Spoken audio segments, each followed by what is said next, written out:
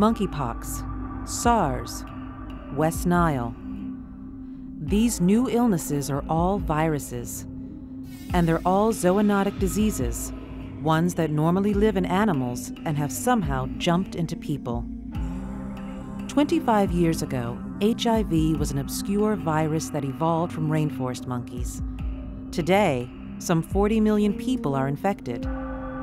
Could one of these newly emerging viruses be the next HIV and threaten us all? For many years, I've been giving a talk called Revenge of the Rainforest. And, you know, people always thought that it was an interesting topic, but certainly not relevant to those uh, living uh, safely in Wisconsin or Ohio or Indiana.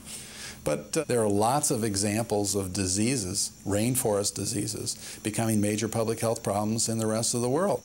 In 1999, a deadly disease emerged in the U.S. that had never been seen before in the Western Hemisphere. It was West Nile virus. Nobody had even remotely imagined West Nile coming to the United States. I mean, here is, is a disease, its entire ecology involves the Nile Sudan, uh, Upper Egypt, um, swamplands, a very specific set of birds and mosquitoes indigenous to that ecology. No one could have imagined it could emerge in the concrete jungle of Manhattan and Queens and become a problem that now is seen in almost every single state in the United States um, and carried by indigenous mosquitoes and indigenous birds.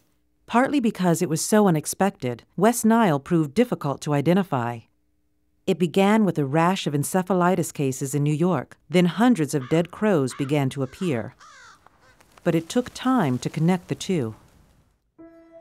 Until 2002, Dan Scanlon was a vigorous man.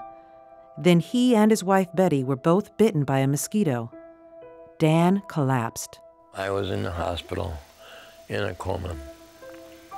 And when I woke up, I found out that she was in the hospital uh, with apparently the same thing.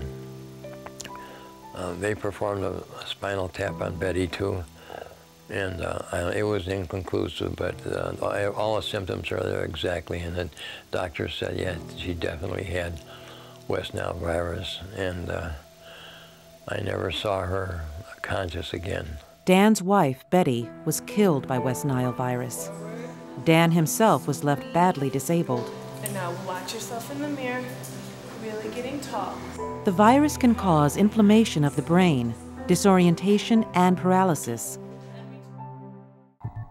In 2006, West Nile killed 177 people in the U.S., mostly elderly, very young, or with weakened immune systems. Fortunately, the odds of catching it are small. The disease is spread by mosquitoes, and one of them could even have brought West Nile to the U.S. All it takes is an infected bug to stow away on an international flight. Now, West Nile is carried by birds in the United States. As they follow their migratory routes, they ferry the virus with them. One recent study indicated it's had a devastating impact on birds, killing hundreds of thousands. And now that West Nile is established in our ecosystem, it's probably here to stay.